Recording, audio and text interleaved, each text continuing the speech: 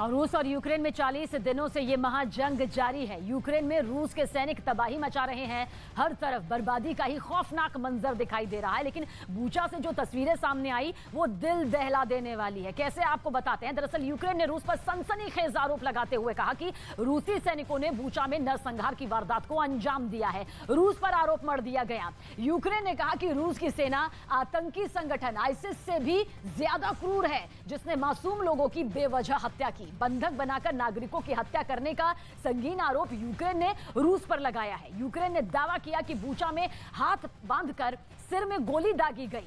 Ukraine में 280 लोगों को सामूहिक रूप से दफनाया गया। मारे जाने वाले लोगों में महिलाएँ और बच्चे भी शामिल है। यह आरोप जो है, वो साफ़ तौर पर यूक्रेन ने रूस पर लगाया। बर्बादियों के निशान अभी भी दिखाई दे रहे हैं। कुछ शहरों से रूस की सेनाएँ वापस भी जा रही हैं, जिसमें कीव भी है, लवीव भी है, लेकिन इन सेनाओं के जाने के बाद तबाही के निशान साफ़ नज़र आ रहे हैं। हर हिस्से में इस तरह की कई जगहें हैं जहाँ पर रूस ने हमला किया था।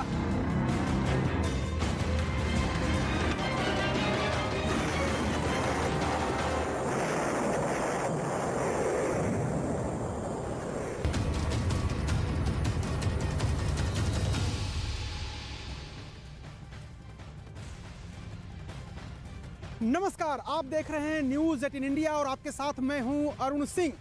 हम इस वक्त युद्ध की मार झेल रहे यूक्रेन के शहर, राजधानी कीव से सीधे ग्राउंड ज़ीरो से लाइव रिपोर्टिंग कर रहे हैं और आपको पल पल की खबर दे रहे हैं। हर तस्वीर दिखा रहे हैं किस तरह से रूस के अटैक में, रूस के हमले में यूक्रेन तबाह हो रहा है, यूक्रेन के शहर तबाह हो रहे हैं। आप क्यू की बात करें खारकीव की बात करें बूचा की बात करें मरियुपुल की बात करें इरपिन की बात करें, हर जगह तबाही का आलम है। घर जले हुए हैं मिसाइल अटैक से। बड़ी बड़ी बिल्डिंगों को ध्वस्त किया जा चुका है। शहर शांत है। हालाँकि क्यू में, जहाँ से मैं स्पेशल बुलेटिन कर रहा हूँ इस वक्त, डर, भय, आशंका, बर्बादी, खंडहर होते शहरों के बीच थोड़ी सी ज़िंदगी दिखाई दे रही है। सड़कों पर इक्का दुक्का लोग आपको दिखाई दे रहे हैं। एक दो कार भी चलती हुई दिखाई दे रही है, लेकिन ज़्यादातर लोग या तो अपने घरों में कैद हैं या फिर दूसरे शहरों की तरफ़ पलायन कर गए हैं। यूरोप के दूसरे देशों में शरणार्थी बनकर ज़िंदगी गुजार रहे हैं और जो हैं, वो अपने ही देश में खाना बदोश बन करके ज़िंदगी गुजार रहे हैं। सबसे बड़ी खबर इस वक्त कीव से यह है कि बूचा, जो कीव से 60 किलोमीटर दूर एक शहर है, वहाँ रूस की सेना ने कब्जा कर लिया था और 30 तारीख को रूस की सेना वहाँ से वापस चली गई। 30 तारीख को वापस गई। अब यूक्रेन ने दावा किया है कि बूचा में और आसपास के इलाकों में रूस के हमले में उसके 410 सैनिकों सैनिकों सहित आम लोगों की जान चली गई है। यानी एक तरफ़ दावा हो रहा है कि रूस के हज़ारों सैनिक मारे गए यूक्रेन दावा कर रहा है कि उसके भी सैकड़ों सैनिक मारे गए, हालाँकि संख्या स्पष्ट रूप से नहीं बता रहा है। लेकिन आज जो दावा किया है यूक्रेन ने, वो ये कहा है कि 410 आम लोग शहरी नागरिक भी मारे गए हैं रूस के हमलों में, यानी 410 यूक्रेन के लोगों की यूक्रेन पर आक्रमण रूस द्वारा जब किया गया, उसके बाद से मौत हो चुकी है। और सबसे सनसनीखेज आरोप ये कि बूचा में रूस की सेना ने सिविलियंस को पहले बंधक बनाया, उनको एक कमरे में इकट्ठा किया, उनके पैर पर गोली मारी, उसके बाद उनके सिर में गोली मारी। और ऐसे लोगों की संख्या कहा जा रहा है कि सत्तावन है। यानी यूक्रेन आरोप लगा रहा है कि रूस ने उसके सत्तावन नागरिकों को बंधक बना करके मारा है, जो युद्ध अपराध की श्रेणी में आता है। जेनेवा कन्वेंशन अंतर्राष्ट्रीय संधियों का खुलेआम उल्लंघन है। तो सबसे सबसे पहले सबसे पहले मैं आपको यह खबर दिखाता हूँ किस तरह से बूचा में यूक्रेन आरोप लगा रहा है कि रूस की सेना सेना ने नरसंहार किया है।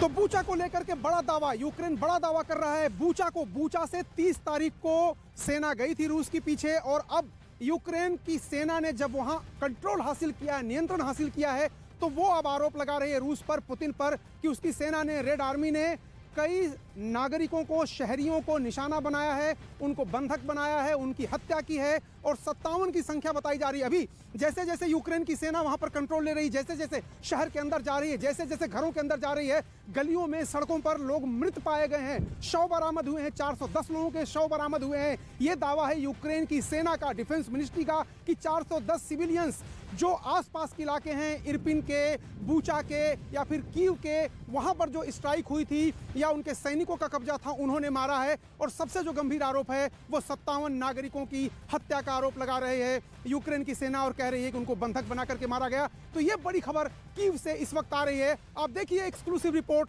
आपको दिखाई देगा कि किस तरह से यूक्रेन, बकौल यूक्रेन, रूस की सेना ने कहर बरपाया है और सिविलियंस की जान ली है।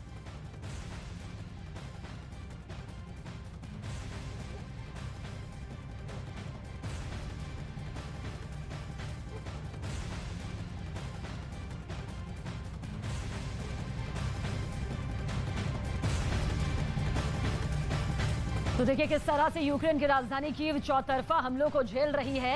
हालाँकि रूसी सेना के पीछे लौटने का दावा भी यूक्रेनी सेना के ज़रिए, यूक्रेन के ज़रिए किया जा रहा है, लेकिन जो तबाही का मंजर यूक्रेन के चप्पे चप्पे से नज़र आता है, वो इसी दास्ता को बयां करता है कि किस तरह से रूसी सेना के हमले कई गुना तेज हो गए हैं। और जो धुंधली तस्वीर इस वक्त आप देख रहे हैं, दरअसल इसके ज़रिए नरसंहार का आरोप जो है यूक्रेन के ज़रिए रूस पर लगाया गया है। रूस ने हालाँकि सिरे से खारिज कर दिया है कि यह नरसंहार महज अफवाह है, ये खबर सच्ची नहीं है, इसमें किसी तरह की हकीकत नहीं है, ये रूस की तरफ़ से अंजाम नहीं दिया गया है।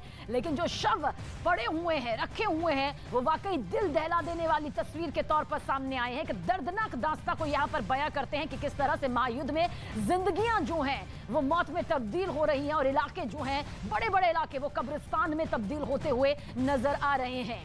खौफनाक ये तस्वीरें हैं, दहशत भरी ये तस्वीरें हैं जो आप देख रहे हैं। और किस तरह से लोगों की जिंदगियाँ यहाँ पर खत्म हो रही हैं। किस तरह से धुंधली तस्वीरों के ज़रिए ये हम आपके सामने रख रहे हैं, क्योंकि ये दिल दहला देने वाली तस्वीरें हैं, खौफ पैदा करती हैं, ये तस्वीरें दर्द देती हैं, ये तस्वीरें, और बताती हैं कि चालीसवां दिन, चालीसवें दिन भी उसी तरह से महातबाही, महाबर्बादी या ज़मीन से लेकर आसमान तक हमले पर हमले रूसी सेना के ज़रिए किए जा रहे हैं। कहीं से भी, किसी भी कोने से यूक्रेन पर हमला हो जाता है। यूक्रेन अपने कुछ वीडियो के ज़रिए, तस्वीरों के ज़रिए ज़रूर यह दावा कर रहा है कि रूसी सेना की सैन्य ताकत को वो भारी नुकसान पहुँचा रहा है। उसकी तरफ़ से मुँह तोड़ जवाब दिया जा रहा है। तो वहीं रूस की तरफ़ से भी वक्त वक्त पर कुछ वीडियो जारी करके ये बताया जा रहा है कि किस तरह से यूक्रेन को वो अपने घुटनों में लाने के लिए मजबूर कर रहा है। हालाँकि मिशन कीव अभी फ़िलहाल अधूरा नज़र आता है। बर्बादी ज़रूर दिखाई दे रही है, लेकिन उसके साथ में ओदेसा पर जिस तरह से अब लक्ष्य टिका लिया गया है, उसके पीछे भी व्लादिमीर पुतिन की एक बड़ी रणनीति नज़र आती है।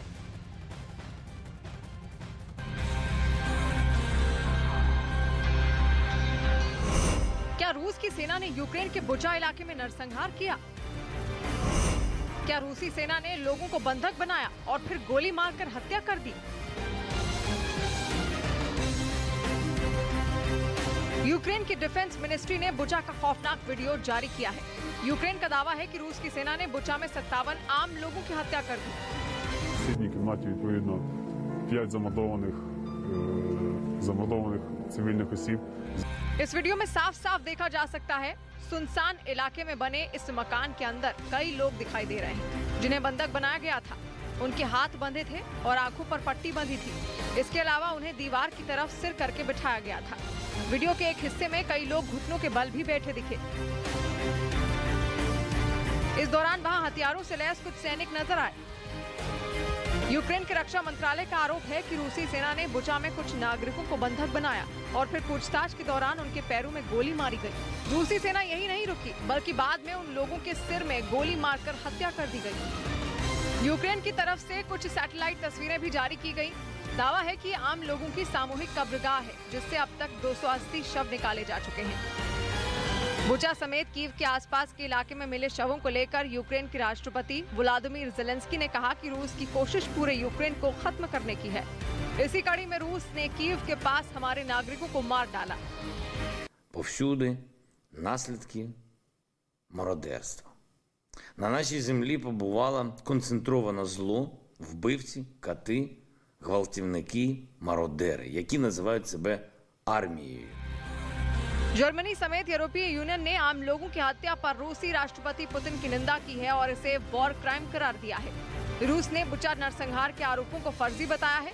रूस का दावा है कि उन्हें बदनाम करने के लिए इस तरह की फर्जी खबरें फैलाई जा रही हैं। वहीं यूक्रेन के मौजूदा हालात की बात करें तो कीव और उससे 60 किलोमीटर दूर बुचा में फ़िलहाल यूक्रेन का कब्जा है।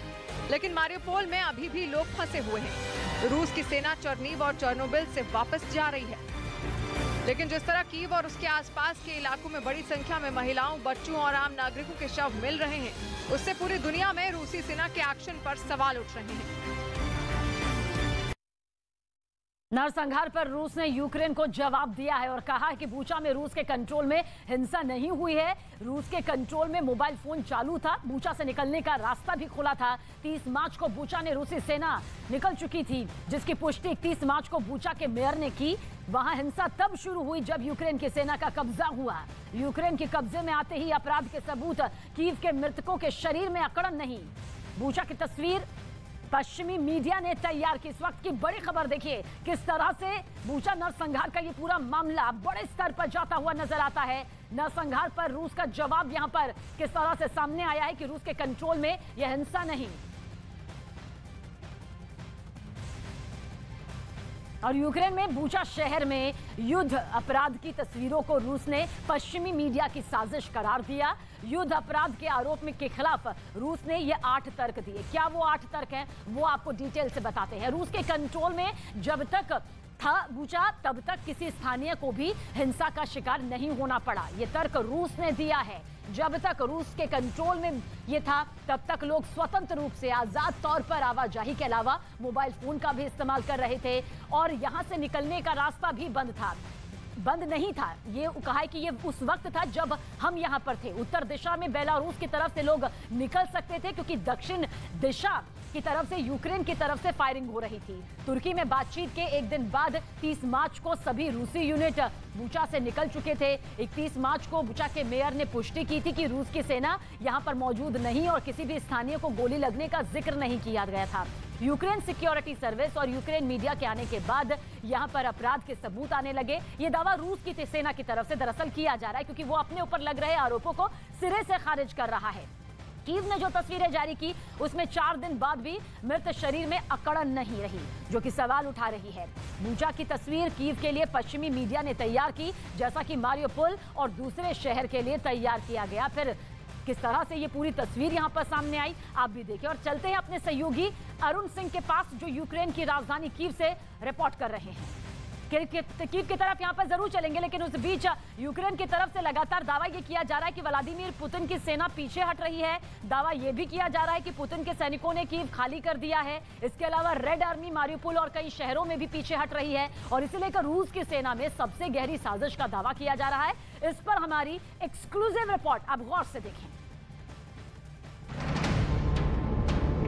क्या लंबे युद्ध से उब रहे हैं रूसी सैनिक?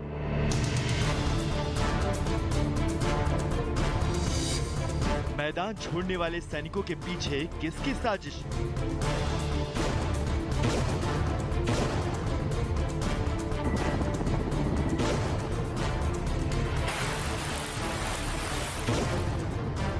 ये सवाल इसलिए उठ रहे हैं क्योंकि जिस रेड आर्मी को पुतिन ने यूक्रेन की ज़मीन पर जंग के लिए उतारा था, वो रेड आर्मी जंग का मकसद पूरा होने से पहले ही भ्रम के जाल में फंसने लगी है।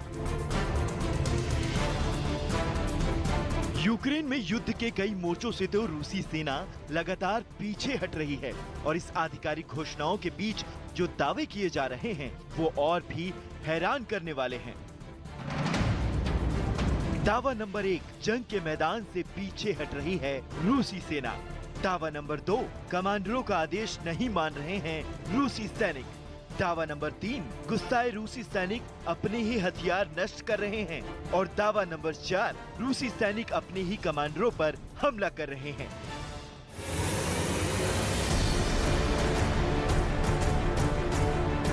रूस पिछले 40 दिनों से यूक्रेन में संघर्ष कर रहा है। संघर्ष युद्ध जीतने के लिए।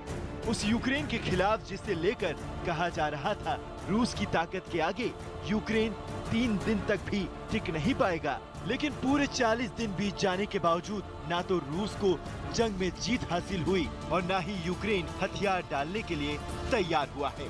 अलबत्ता पिछले 40 दिन से जिस तरह यूक्रेन रूस की रेड आर्मी का करारा जवाब दे रहा है, उसे देखकर पुतिन भी खुद तंग है। नेटो का दावा है कि पुतिन की रेड आर्मी में भी विद्रोह की आशंकाएँ तेज हो गई है। क्योंकि जंग में रूसी सैनिकों का मनोबल काफ़ी गिर चुका है। यही नहीं, रूसी सैनिकों का पाला बदलने की भी संभावना बन रही है। जंग का इतिहास खंगाले तो रूसी सैनिक में बगावत की कहानी कोई नई बात नहीं है। 1905 में भी रूस और जापान युद्ध के दौरान भी रूसी सेना ने बगावत कर दी थी। उन्नीस से लेकर उन्नीस सौ छियानवे के दौरान चेचन्या के साथ पहले संघर्ष में भी रूसी सैनिक मैदान छोड़कर भाग गए थे। जंग में रूसी सेना के इस काले इतिहास से व्लादिमीर पुतिन भी अच्छी तरह वाकिफ हैं। लिहाजा वो अब जंग के बीच ही अपनी रणनीति में लगातार बदलाव कर रहे हैं। यही नहीं, युद्ध की रणनीति फेल होने के चलते पुतिन अपने कई सलाहकारों के खिलाफ भी एक्शन ले रहे हैं। हालाँकि इन सब के बावजूद अब तक पुतिन की सेना यूक्रेन में ज़्यादा कारगर साबित नहीं हो पाई है। और इसके पीछे कुछ और वजहों को भी जिम्मेदार माना जा रहा है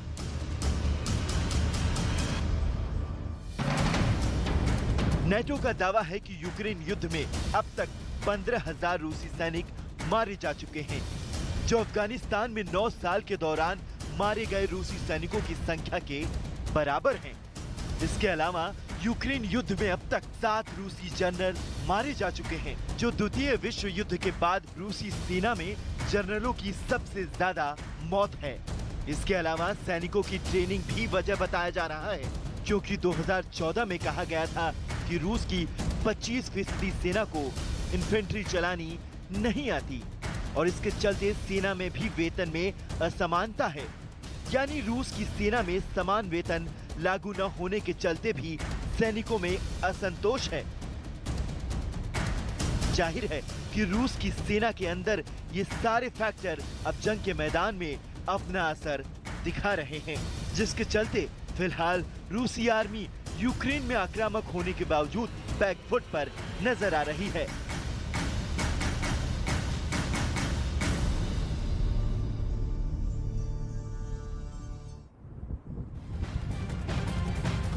रूस के राष्ट्रपति व्लादिमीर पुतिन अब अपने रौद्र रूप में आ गए हैं। अब उनका खौफनाक चेहरा दिखाई देने लगा है।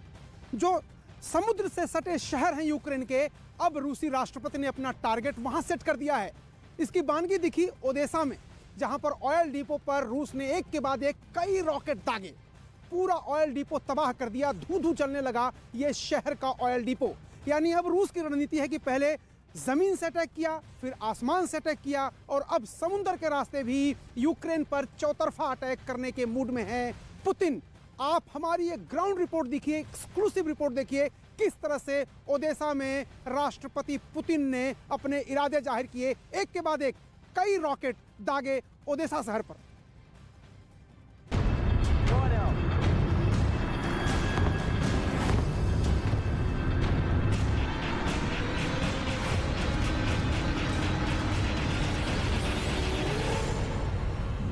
अटैक तेल डिपो पर हुआ और निशाना साधा गया सीधे यूक्रेन की एयरफोर्स पर। मिसाइल हमलों ने यूक्रेन के फाइटर जेट्स को पंगु बना दिया। महाजंग में जो यूक्रेनी फाइटर जेट्स कल तक रूसी सेना पर कहर बनकर टूट रहे थे, अब उन्हीं फाइटर जेट्स को पंगु बनाने के लिए रूस ने यूक्रेन पर तगड़ा वार कर दिया है। ऐसा वार, जिसके बाद यूक्रेन के लड़ाकू विमान अगले कुछ दिनों तक ज़मीन नहीं छोड़ पाएँगे।